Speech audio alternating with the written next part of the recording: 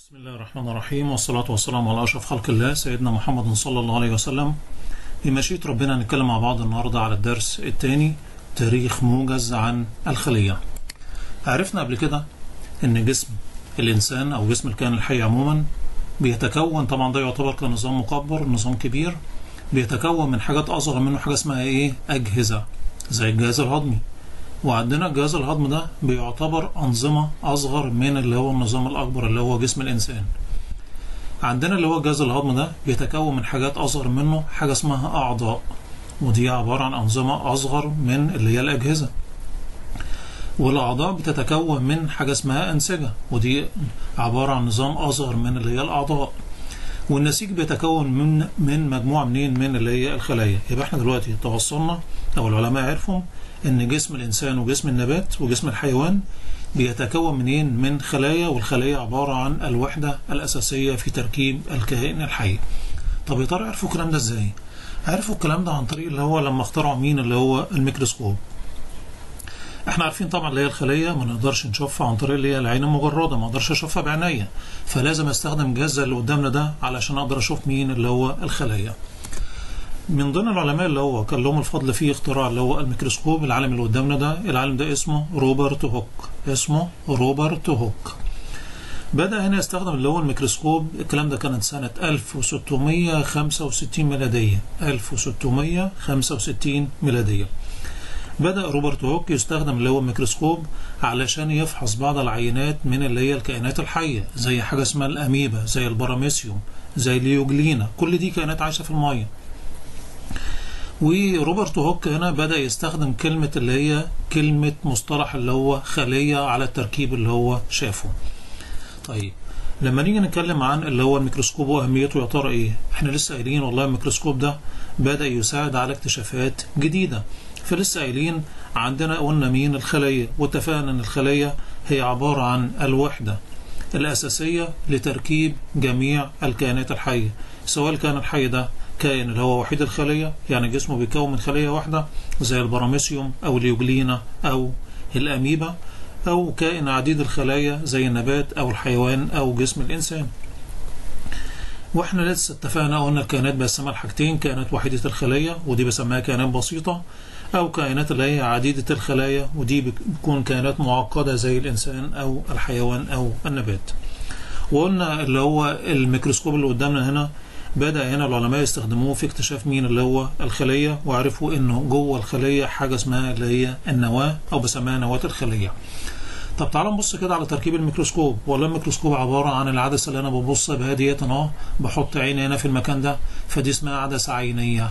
يبقى دي عبارة عن إيه؟ عدسة عينية العدسة الثانية اللي هي عندي هنا بسميها عدسة شيئية يبقى عندي هنا في عدستين عدسة عينية عدسة إيه شيئية عندنا جزء هنا اللي بحط عليه الشريحة حاجة اسمها اللي هي المنصة أو بسموها المنضدة المنصة أو المنضدة عندنا تحت هنا بيكون في عبارة عن مرآة المرآة دي بتبدأ تحجز اللي هو بيكون عندي هنا اللي هي بتعكس اللي هو الضوء علشان يسقط على الشريحة وعندي هنا الجزء ده بيكون عبارة عن مثبت عشان أثبت بيه اللي هو الشريحة.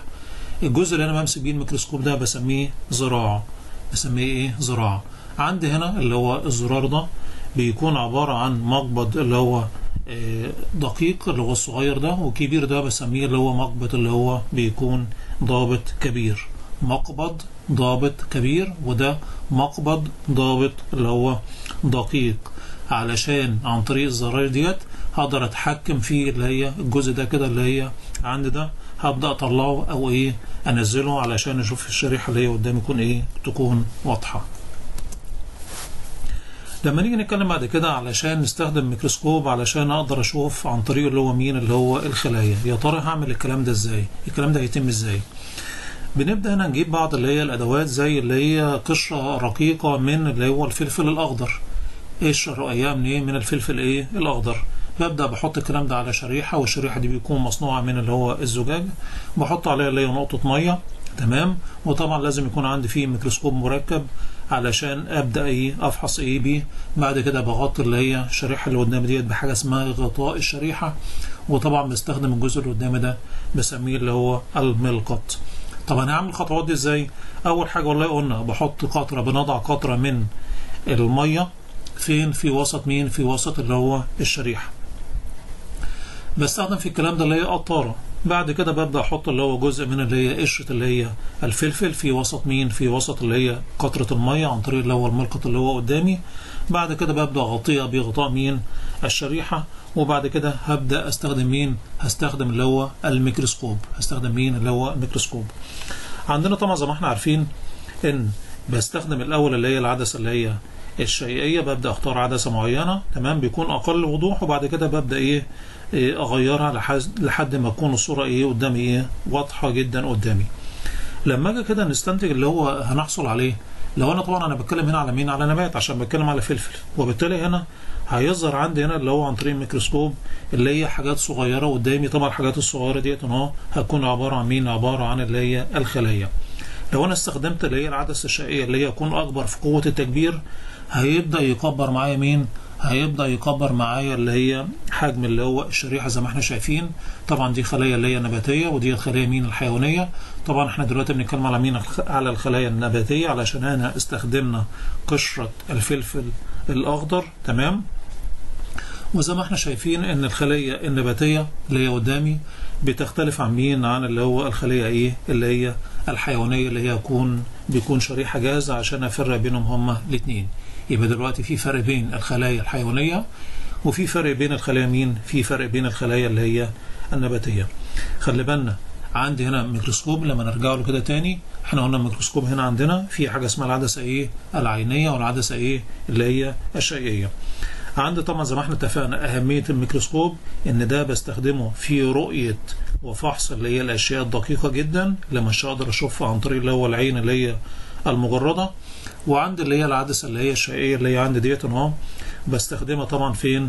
بستخدم اللي هي الكبيرة بتاعت طبعا هنا بيكون كل عدسة مكتوب عليها رقم معين على حسب قوة التكبير.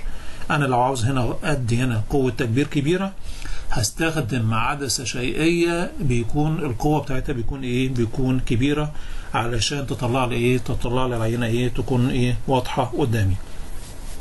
طبعا إحنا سمينا العدسة العدسة دي عدسة عينية عشان ببص بها بعينيا وسميت العدسة دي عدسة اللي هي شيئية علشان بحط الشيء اللي أنا عاوز أفحصه على إيه؟ على المنصة اللي هي قدامي.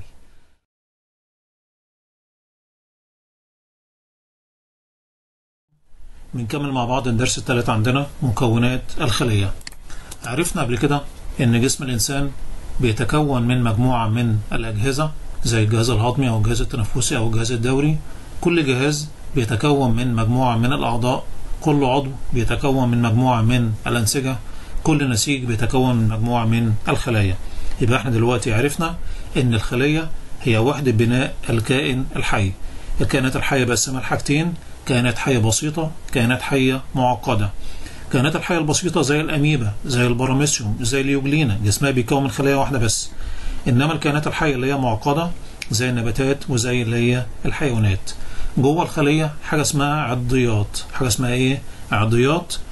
تمام؟ يبقى عندي دي الخلية سواء خلية نباتية أو خلية إيه؟ أو خلية حيوانية. فعندنا كده أول حاجة اللي هو قدامنا كده اللي هي قدام الجزء ده كده بسميه النواة. يبقى ده عبارة عن إيه؟ عبارة عن النواة. دي خلية مين؟ خلية حيوانية. يعني موجودة في جسم الإنسان موجودة في جسم الحيوان. يبقى عندي هنا موجود في المركز بتاع الخلية حاجة اسمها إيه؟ النواة. عندي نفس الكلام بالنسبة للخلايا النباتية اللي هي موجودة في النبات. برضك عندها إيه؟ حاجة اسمها إيه؟ اللي هي النواة. والنواة طبعا ديت بتعتبر مركز التحكم في عضيات مين؟ اللي هي الخلية. يعني هي اللي تتحكم في كل الحاجات اللي هي موجودة جوه الخلية. بتعتبر هي العقل المدبر بتاعها. لأن دي بتحتوي على حاجة اسمها اللي هو الحمض النووي اللي هو الدي إن إيه؟ هناخده إن شاء الله لما نكبر كده اللي هي المادة الوراثية يعني بيكون موجودة داخل مين؟ داخل اللي هو النواة. يبقى دلوقتي عندي مكونات اللي هي الخلية سواء خلية نباتية أو خلية حيوانية. أول حاجة عندنا حاجة اسمها إيه؟ النواة. وقلنا ديت موجودة فين؟ في مركز مين؟ في مركز الخلية. ودي مهمتها التحكم في عضيات مين؟ اللي هي الخلية. الحاجة التانية عندي اللي هو من بره كده ده بسميه غشاء الخلية. يبقى عندي ده من بره كده اللي بيحيط من الخلية من بره اسمه إيه؟ غشاء مين؟ غشاء اللي هو الخلية. عندي هنا بالنسبة للخلية النباتية اللي هو الجزء اللي ده بسميه غشاء مين؟ غشاء اللي هو الخلية. غشاء الخلية ده بسميه غشاء بلازمي. بسميه غشاء مين؟ غشاء بلازمي. طيب ده مهمته إيه؟ طبعا مهمته هنا الرئيسية إن بيحمي خلية. تمام؟ يبقى أول مهمة حماية مين؟ حماية اللي هي الخلية. المهمة الثانية بينظم دخول المواد من وإلى الخلية. يعني في مواد هتخش جوه الخلية. في مواد اللي هتطلع بره الخلية اللي هيتحكم في الكلام ده مين؟ اللي هو الغشاء البلازمي. يبقى الحاجة التانية اتكلمنا عليها اسمه إيه؟ غشاء الخلية. غشاء الخلية له كم مهمة؟ له حاجتين. أول حاجة حماية الخلية الحاجة التانية التحكم واللي هي تنظيم اللي هي مرور المواد من وإلى إيه؟ الخلية. كل جزء اللي هو قدامي ده بسميه السيتوبلازم. بسميه إيه؟ بسميه السيتوبلازم. اسمه إيه؟ السيتوبلازم السيتوبلازم هنا زي ما إحنا شايفين بيملى مين؟ بيملى الخلية تقريبا وده بيكون عبارة عن سائل موجود داخل اللي هو الخلية تمام؟ كل اللون إيه اللون اللبني قدامي ده بسميه مين؟ بسميه اللي هو سيتوبلازم ده عبارة عن سائل بيكون موجود داخل الخلية. بتبدأ كل اللي هي العضيات التانية تبدأ إيه؟ تسبح فيه. عندي طبعا زي ما إحنا قلنا عندي دي اسمها خلية نباتية دي اسمها خلية إيه؟ حيوانية. خلي بالنا إن في فرق هنا من بره كده في الخلايا النباتية مش موجود في الخلايا الحيوانية. حاجة اسمها اللي هو الجدار الخلوي. يبقى أول حاجة يا بره كده حاجة اسمها إيه؟ جدار الخلية أو بسميه الجدار الخلوي. ده موجود فين؟ في الخلية النباتية وفي نفس الوقت مش موجود فين؟ في الخلية الحيوانية. وده بيتكون من مادة اسمها مادة اللي هي السليلوز. طيب إحنا اتفقنا دلوقتي إن الخلية بتعتبر إيه؟ كنظام مصغر تمام؟ اتفقنا الخلية فيها مجموعة من اللي هي العضيات تمام؟ كل ده بيشتغل إيه؟ مع بعضه إيه؟ في تناسق مع بعضه. طبعا ده بيؤدي مين؟ إلى المحافظة على حياة اللي هو الكائن اللي هو الحي. عندنا خلي بالنا إن كل مجموعة من الخلايا بتبدأ مع بعضها كده في الكائنات طبعا اللي هي عديدة الخلايا كل مجموعة من الخلايا هتقوم بوظيفة معينة. يعني مثلا عندنا اللي قدام الرسمة اللي قدامها ده ده عبارة عن العضلات بتاعة الجسم. ده عبارة عن مين؟ عبارة عن اللي هي العضلات اللي هو النسيج العضلي. والنسيج العضلي ده بيكون له القدرة على الانقباض والانبساط. طبعا عن طريقه هيبدأ الجسم إيه؟ يتحرك. عند اللي قدامه ديت عبارة عن اللي هي خلايا الدم كريات الدم اللي هي الحمراء. وطبعا ده موجودة فين؟ في الإنسان والحيوان. عندي ده اللي هو عبارة عن اللي هو خلي اللي هي خلايا اللي هي العظام اللي هي موجودة فين؟ في اللي هي الحيوانات. طيب تعال نشوف كده بالنسبة لي اللي هي خلايا بتبدأ تقدر تقوم بعملية اللي هي البناء الضوئي في النباتات. طبعا ديت اللي أنا بسميها دي الورقة طبعا. الجزء من الورقة كده الحتة الصغيرة ديت لو أنا خدتها وكبرتها هيظهر لي بالشكل ده. عندي هنا أول حاجة متبرة كده حاجة اسمها كيوتين بعد كده كل اللي قدامي ده اللي هو يلزمني ده الجزء ده كده ده بسميه اللي هو النسيج اللي هو المتوسط اللي هو جواه حاجة اسمها بلاستيدات خضراء. اسمها إيه؟ بلاستيدات خضراء. دي تقدر تقوم بعملية البناء الضوئي. النسيج ده يقدر يقوم بعملية البناء الضوئي وكمان النسيج اللي هو تحت منه ده بسميه اللي هو النسيج اللي هو الإسفنجي. يبقى عندي اللي قدامي ده ده منظر مكبر لمين؟ للبلاستيدة يبقى عن طريق البلاستيدات الخضراء يستطيع النبات القيام بعملية البناء مين البناء الضوئي. طبعا التركيب بتاعها علينا إن شاء الله لما نكبر إن شاء الله. يبقى معنى كده إن كل مجموعة من الخلايا هتبدأ تتخصص في أداء إيه؟ وظيفة إيه؟ معينة. اتفقنا دلوقتي إن الجسم اللي هو الكائن عديد الخلايا زي جسم اللي هو الإنسان تمام؟ ده عبارة عن مجموعة منين؟ من اللي هو الأجهزة. والجهاز ده آه بيتكون من مجموعة منين؟ من اللي هو الأعضاء اللي هي مرتبطة مع بعضها. والأعضاء دي زي ما إحنا اتفقنا قلنا تتكون من مجموعة منين؟ من اللي هي الأنسجة. والأنسجة طبعا ديت اهو بتؤدي وظيفة معينة والنسيج بيتكون من مجموعة منين؟ من اللي هي الخلايا. في عندنا بالنسبة لي اللي هي الخلية طبعا اللي قدامي ديت عبارة عن خلية حيوانية. طبعا ده منظر مكبر. أول حاجة متبرة كده اللي هو حاجة اسمها اللي هو الغشاء اللي هو الخلية اللي إحنا سميناه اللي هو الغشاء البلازمي. وطبعا ده مهمته هنا ده بيعتبر اللي هو البطانة اللي هو الخارجية لمين للخلية قلنا مهمته حاجتين لو إحنا فاكرين. قلنا أول مهمة اللي هي حماية اللي هي الخلية تمام؟ لأن ده بطانة خارجية. وعند الحاجة الثانية بيتحكم في اللي هي المواد التي تدخل داخل الخلية أو تخرج منين؟ من الخلية عن طريق حاجة اسمها النفذية الاختيارية. النفذية الاختيارية. يبقى عندنا في عناصر أو مواد أو مية تخش جوه الخلية وتطلع منه مين اللي يتحكم فيها؟ اللي هو الغشاء البلازمي. يبقى هنا له مهمتين. أول حاجة حماية الخلية. الحاجة الثانية التحكم في مرور المواد من وإلى الخلية. عندي هنا موجود في مركز اللي هو الخلية الجزء الكبير ده اللي هو بسميه النواة. وطبعا ديت مسؤولة عن أنشطة مين؟ اللي هي الخلية. وكمان بيتكون عن طريقها حاجة اسمها اللي هي البروتينات. بيكون مين؟ البروتين وكمان بتساعد في اللي هي انقسام الخلية علشان الخلايا لما يبدأ يحصل عملية نمو المفروض بتنقسم. يعني الخلايا تبقى خليتين يبقوا أربعة يبقوا ثمانية أو لما يحصل عندي جرح في إيديا ولا حاجة الجرح ده هيلتئم. عشان يلتئم لازم يحصل اللي هو انقسام لإيه للخلايا. اللي هيساعد في عملية الانقسام اللي هي النواة يبقى النواة هنا مسؤولة عن حاجتين تكوين البروتينات والحاجة الثانية اللي هي انقسام الخلية عندي هنا الجزء اللي هو الأصفر ده كده بسميه اللي هو بسميه السيتوبلازم. والسيتوبلازم ده بيكون عبارة عن سائل هلامي بتسبح فيه كل مكونات اللي هي الخلية. الجزء اللي قدامي التاني ده اللي هو قدامي ده بسميه الميتوكوندريا بسميه الميتوكوندريا. وديت عبارة عن مركز انطلاق الطاقة في الخلية. الخلية هنا علشان تقدر تقوم بالوظائف اللي إحنا قلنا عليها محتاجة طاقة. الطاقة دي هتجيبها منين؟ هتجيبها من داخل مين؟ اللي هو الميتوكوندريا. لأن بيحصل داخل الميتوكوندريا حاجة اسمها التنفس اللي هو الخلوي. التنفس الخلوي بيتم داخل الميتوكوندريا. ليه؟ علشان الخلية تقدر تحصل على طاقة. علشان تقدر تقوم بجميع الوظائف الحيوية من تكاثر من اللي هو نمو. كل دي اسمها عمليات إيه؟ حيوية. عملية التنفس اللي هو الخلوي دي خلي بالنا اللي هي عبارة عن عملية بستخدم فيها اللي هو الأكسجين علشان أحصل على إيه؟ على الطاقة من الطعام، يعني الأكل اللي إحنا بناكله ده المفروض أحصل منه على إيه؟ على طاقة، فهنا طبعا هيحصل الكلام ده داخل مين؟ داخل اللي هو الميتوكوندريا، طبعا في حالة توافر مين اللي هو الأكسجين. اتفقنا إن الغشاء بتاع الخلية بيسمح ب أو بيتحكم في اللي هي العناصر من وإلى الخلية والكلام ده بيتم عن طريق مين؟ النفاذية الاختيارية نتيجة إن الغشاء ده بسميه غشاء اللي هو بلازمي. الغشاء ده بيسمح قلنا لبعض اللي هي المواد بالمرور خلاله وفي نفس الوقت هنا بيمنع مواد تانية إنها تطلع أو تخش جوه الخلية. الكلام ده حسب احتياجات اللي هي الخلية. يا رب يكون فهمنا تعالى مع بعض كده. هنبدأ نحل مع بعض أسئلة على الدرس. وبالتوفيق لجميع رب العالمين.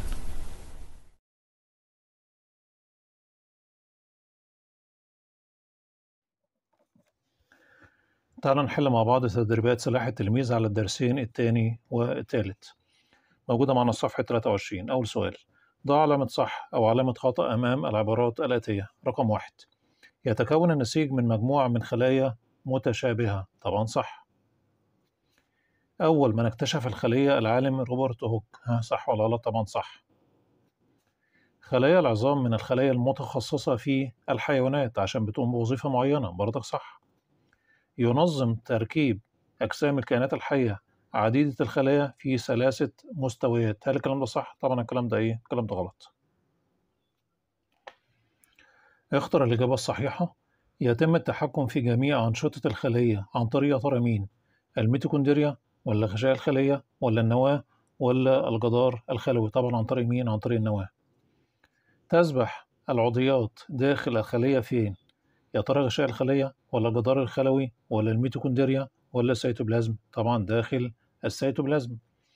يتميز نقط في الخلايا النباتية والحيوانية بخاصية النفاذية الاختيارية. بيكلمنا على مين؟ على خاصية النفاذية الاختيارية. يعني الخلية هتتحكم في عناصر معينة تدخلها جوه الخلية وعناصر تانية هي تتحكم في في خروجها. مين اللي بيعمل الكلام ده؟ يا ترى السيتوبلازم ولا الميتوكوندريا ولا غشاء الخلية ولا النواة؟ طبعا مين غشاء الخلية؟ يتكون جدار الخلية من مادة إيه؟ الذهب ولا النيتروجين ولا السليلوز ولا الفوسفور؟ طبعا السليلوز. أكمل مما بين القوسين، يعني هنا مديني كلمتين أختار كلمة منهم. رقم واحد تعتبر نقط من أمثلة الخلايا الحيوانية يا ترى العضلات ولا الجذور؟ الجذور دي موجودة في النبات يبقى دي خلايا نباتية ماليش علاقة بيها بنختار مين؟ العضلات. من وظائف نقط تكوين البروتينات في الخلية هيكون بروتينات الميتوكوندريا ولا النواة طبعا من النواة إنما الميتوكوندريا ديت مراكز انطلاق الطاقة مسؤولة عن انطلاق إيه؟ الطاقة. يتكون الجهاز من مجموعة من إيه؟ التي تتكون من أنسجة. بيكلمنا على مين؟ على الجهاز. طبعا بيتكون مجموعة من إيه من اللي هي الأعضاء. إنما الأنسجة تتكون مجموعة منين؟ من الخلايا. تراكيب داخل الخلية لها وظيفة خاصة هي يا ترى العضيات ولا الأعضاء؟ طبعا مين؟ هو بيقول داخل مين؟ داخل الخلية جوه الخلية باسمها إيه؟ عضيات زي اللي هي الميتوكوندريا زي النواة زي السيتوبلازم. كل ده اسمها إيه؟ عضيات